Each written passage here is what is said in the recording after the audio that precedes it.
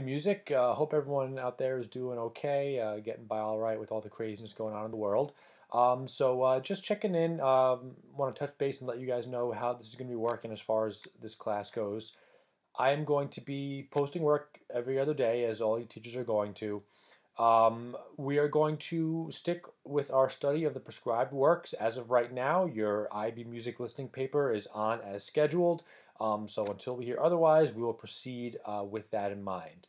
One thing I am going to change though is that I am going to shift over to studying the Haydn score um, rather than the Rachmaninoff. Since the Rachmaninoff is a little trickier, I'm going to wait and save that um, until hopefully uh, we are back together in person again because that one's a little easier to do face to face. The Haydn, um, I think you guys could mostly manage pretty independently. So um, we'll do some kind of little mini guided lessons here. Um, I'll do kind of a short mini lesson um, video here on YouTube. I'll probably get like a million likes. Um, and then I'll give you, um, you know, simple little tasks to kind of follow up from there to again best prepare you to, uh, to deal with uh, Haydn's 94th Symphony as one of your two prescribed works.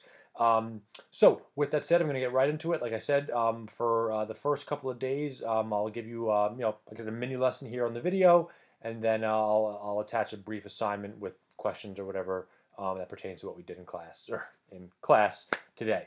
Um, so uh, without further ado, uh, let's get right into it. Um, put your phone away, Liam. Thank you. All right. So since we're doing virtual classrooms right now, everything is very high tech. Um, I'm going to use my super high tech board over here, which is my two year old son's chalkboard. And we're going to talk about the form of a classical symphony. Because remember, our prescribed work is by Joseph Haydn. Okay, now let me just add to this guy's quick timeout. I will ask you to please take notes on this. I know it seems kind of silly and kind of weird, um, but that's the best way for you to actually you know, reinforce what you are learning here.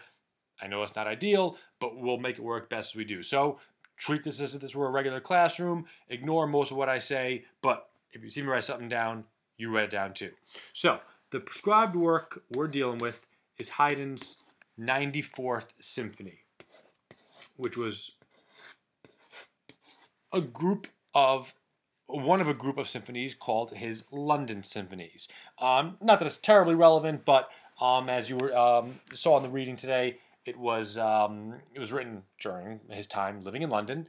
Um, so uh, it doesn't really have a whole lot of significance for us, except for one uh, one way um, as far as the form of the symphony goes, which I'll get to momentarily, but really more trivial than anything else.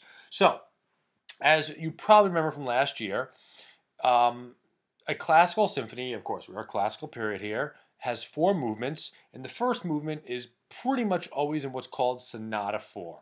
And that's going to be the basis of our work today. So let me zoom out here because it seems kind of weird without you being able to see me. This whole thing is kind of weird, but here we are. Um, so, um, sonata form. Let's do some review because you probably haven't really thought much about it. Um, since you just covered it last year. If you have been thinking a lot about sonata form over the past year, um, you may need to go talk to a doctor about that. So, sonata form is basically a type of ternary form. What does ternary form mean again? No one? All right. Remember, ternary form, guys, is A, B, A form. Sonata form is ABA form, but with a few more kind of wrinkles thrown in. So, to review the main parts sonata form, the first A section is called the, thank you, Zach,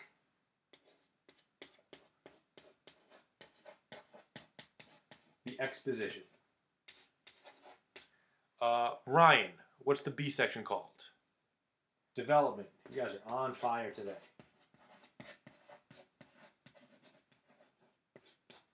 And then return to the A section, Jody Ann. Perfect. The recap, or more formally, the recapitulation. Don't know if I spelled that right. Okay, so that's three components of sonata form. But again, it's more to it than just that. Simple ABA would just be able to call that ternary form. But there's more to it than that. So let me find an eraser that my child threw somewhere. All right, I'm prepared. So, to go into a little more detail of sonata form, in the exposition, we have an introduction. Now, this is um, why I mentioned really the only thing you need to know about the fact that this is one of Haydn's London symphonies is that a little kind of signature he put on all of his London symphonies was having a slow introduction before the fast music actually starts. So that's how you can always tell a Haydn London symphony, the slow introduction. Enjoy that useless trivia. Now, after the introduction, the music gets going. There's a primary theme, which, as you expect, is going to be in the tonic key. After the primary theme, we usually have a little other section. You can call it a bridge, call it a transition, whatever you want to call it, it's fine. Then, so that's called theme one. Then we have theme two. Now the important thing about theme two, and what makes it easier to find, is that it's always going to modulate to the dominant. So if we're in C major, theme one will be in C major, theme two would modulate to where, Corbin? G major, thank you. All right, so that's what the exposition section looks like. Now, the development section is the opportunity for the composer to take some of this material, theme one and theme two, and, well, develop it. Modulations, fragmentations, all things we've talked about over the years together. That's the development section, and then after that is the recap. Now, the recap will look basically the same, right? It's called the recap for a reason. However, important change is that theme two in the recap is no longer in the dominant, but it will stay in the tonic. That's really kind of the big change going from the exposition to the recap. That theme two this time will stay in the tonic rather than modulating, and the recap will typically end with a nice exciting coda, kind of wrap up the movement. Uh, again, usually the first movement of the symphony. Okay, so in a nutshell, that's what sonata form is. Again, this hopefully is uh, not new to you and ringing some bells um, from your memory of the classical period for last year. Okay, now, um, here's what I'm going to ask you guys to do. I'm going to attach to this classroom posting a uh, recording of the uh, 94th Symphony of Haydn um, with the score attached to it. So you can kind of follow along uh, while you listen. Remember, for the listening paper, this part of the test is only based on the written score, but I like having you actually analyze the music first because I think it helps to put everything into context a little bit better. So, your assignment for today is to listen to the first movement of the uh, Haydn 94th Symphony. It's about the first eight and a half minutes or so of the recording. And I want you to mark off the time of every event that you can.